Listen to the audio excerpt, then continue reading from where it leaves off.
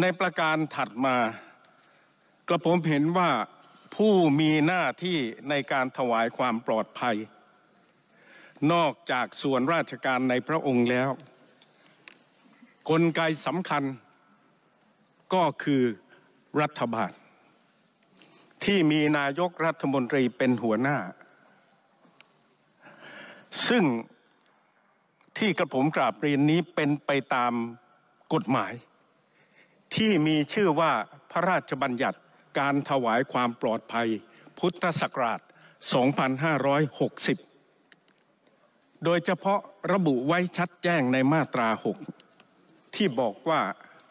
ให้หน่วยงานของรัฐทุกแห่ง ซึ่งประกอบด้วยกระทรวงทบวงกลมเป็นต้น มีหน้าที่ในการถวายความปลอดภัย หรือ ร่วมมือในการถวายความปลอดภัย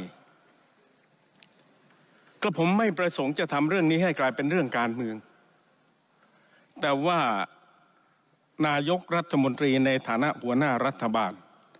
และในฐานะผู้สั่งปฏิบัติราชการสำนักงานตำรวจแห่งชาติ ต้องยอมรับว่าท่านออกมาส่งสัญญาณ แสดงท่าทีความรับผิดชอบค่อนข้างช้าจริง ๆ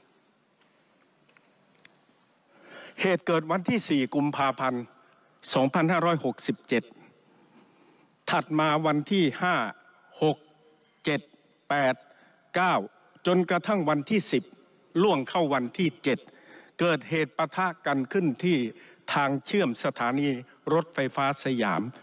วันถัดมาอีกวันหนึ่งรุ่งขึ้นคือวันที่ 11 กุมภาหลังเกิดเหตุป่วนขบวนเสด็จ 7-8 วัน นายกรัฐมนตรีจึงส่งสัญญาณเรียกผู้บัญชาการตำรวจแห่งชาติ เจ้าหน้าที่ระดับสูงที่เกี่ยวข้องมาหารือเรื่องมาตรการรักษาความปลอดภัยขบวนเสด็จ